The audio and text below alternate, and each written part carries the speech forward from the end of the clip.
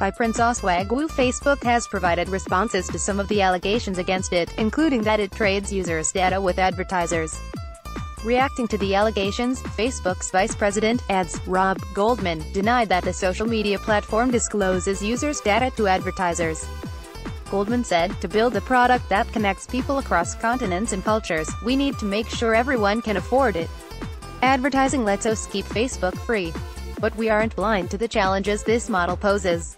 It requires a steadfast commitment to privacy. So our promise is this, we do not tell advertisers who you are or sell your information to anyone. That has always been true. We think relevant advertising and privacy aren't in conflict, and we are committed to doing both well. We know that many of you have questions about how we use your information in advertising and what control you have over it. I'll address some of the most frequent questions we get but first I'll lay out the basic mechanics of Facebook advertising, he added. He highlighted important areas users should understand very well, including misconceptions on how information are shared while using Facebook. When you use Facebook, you can choose to share things about yourself like your age, gender, hometown, or friends.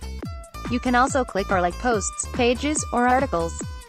We use this information to understand what you might be interested in and hopefully show you ads that are relevant. If a bike shop comes to Facebook wanting to reach female cyclists in Atlanta, we can show their ad to women in Atlanta who like the page about bikes. But here's what's key, these businesses don't know who you are.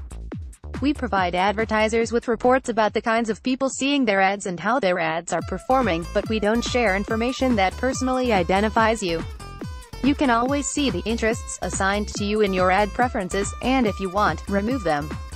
In this case, advertisers bring us the customer information so they can reach those people on Facebook.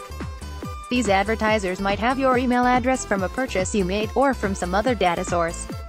We find Facebook accounts that match that data, but we don't tell the advertiser who matched. In ad preferences you can see which advertisers with your contact information are currently running campaigns, and you can click the top right corner of any ad to hide all ads from that business.